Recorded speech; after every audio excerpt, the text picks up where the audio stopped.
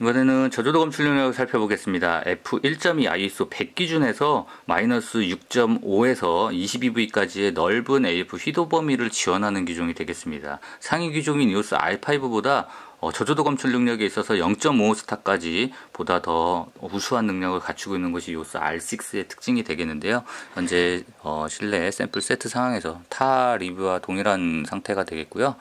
어, 실내에 저기 맨 뒤쪽에만 어 약한 어 조명을 켜놓은 상태가 되겠는데 ISO 102,400에서 F4 어 60분의 1초밖에 안 되는 어, 어 상당히 어두운 상황이 되겠습니다. 이 정도 상황인 경우에는 그래도 어느 정도 빛이 확보가 되기 때문에 F를 어, 적용하는데 전혀 무리가 없는 약간 속도가 당연히 느려지기는 합니다만 어, F에 대한 실패 같은 것 없이 상당히 쾌적하게 F가 어, 진행이 되는 것을 볼 수 있습니다. F 얼굴 인식을 적용을 했을 때에도 이렇게 완성도가 떨어지는 피규어의 경우도 눈 검출 적용해주는 부분들 볼 수가 있고요.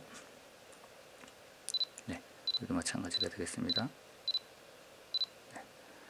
이런 식으로 F 검출 능력이 전반적으로 상당히 우수한 모습을 보여주고 있고요.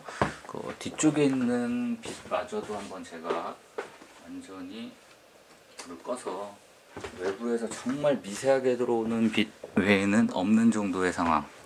그러니까 지금 마찬가지로 최저감도라 102,400이지만 어 6분의 1초밖에 안 되는 정도의 상황에서 지금 저쪽에 있는 피규어 같은 경우는 약간의 사선으로 들어오는 빛만으로 F가 적용이 가능했고요. 네. 지금 화면에서도 지금 거의 잘 안 보이는 최소한의 빛이 들어오는 이런 지점에서 AF가 가능한 그런 부분을 보여줍니다. 이 부분은 지금 EOS R5보다 확실히 조금 더 나은 AF 성능이구나 라는 것을 저는 기본적으로 좀 체감을 할 수가 있었고요.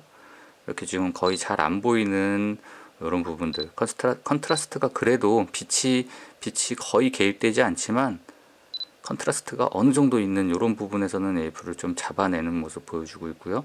이렇게 거의 패턴이 없는 이런 부분에서는 AF를 실패하는 모습 필패스트 좀 실패한다고 이렇게 보여주는 부분들도 굉장히 긍정적입니다. 종합적으로 EOS R6는 어, 상당히 발전된 AF 성능을 잘 갖춘 기종으로서 저조도 검출 능력에 대한 만족도 또한 고감도 성능이 우수한 기종이기 때문에 저조도 검출 능력이 더욱 크게 요구되는데 그런 부분들도 상당히 만족스럽습니다.